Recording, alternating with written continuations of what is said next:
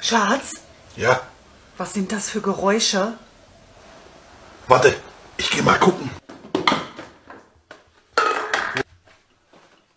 Hey, was tust du da?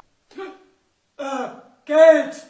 Ach so. Mensch, ich bin verheiratet, hab drei Kinder. Zieh mir was Warmes an, dann helfe ich dir suchen, Idiot. Was machst du denn da? Ich hänge unsere Kontoauszüge an der Haustür.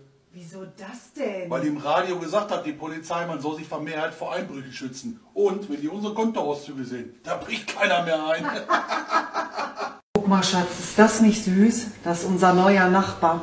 Und jeden Morgen, wenn der zur Arbeit fährt, dann küsst und drückt er seine Frau. Ist das nicht schön? Warum machst du das nicht auch? Schatz, ich kenne die Frau doch gar nicht.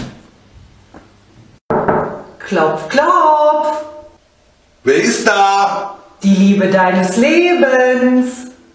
Lüg nicht! Mir kann ich sprechen! so, Schluss, ein für alle Mal. Es reicht, ich werde meine Sachen packen. Ich will wieder ein richtiger Mann sein. Ich werde nach Afrika gehen, Löwen jagen und den Kilimanjaro besteigen. Und nach Kanada werde ich gehen, wo ein richtiger Mann noch ein Mann sein kann.